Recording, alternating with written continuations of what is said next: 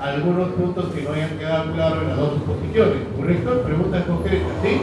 por una Lima educadora, descentralización de la educación. Con este lema, diversas autoridades educativas de los planteles de Lima Sur se reunieron para abordar planes para mejorar la calidad educativa. La, que va a encarar, la que va a estudiar la problemática de la educación no solamente a nivel de la escuela, sino a nivel de, la de toda la sociedad.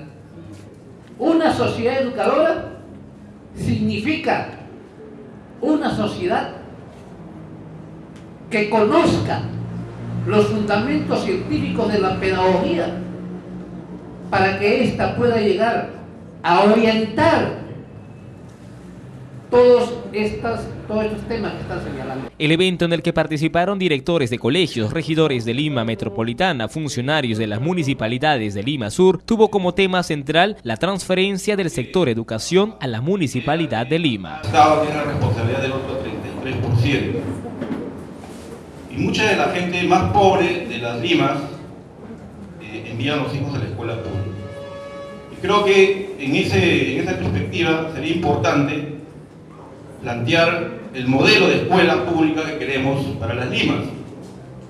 No en, no en función de Lima metropolitana, porque Lima es tan grande, pero sí en función de las Limas, Lima Norte, Lima Sur, Lima Este, que tienen potencialidades y particularidades eh, diferentes unas de otras. ¿Cuál es el modelo de escuela pública? ¿Cuál es el modelo de docente? Muy cuestionado y seguramente con mucha legitimidad por los padres de familia el modelo de alumna o alumno o estudiante. El evento público tuvo como escenario el auditorio de la institución educativa Tupac Amaru de Villa María del Triunfo.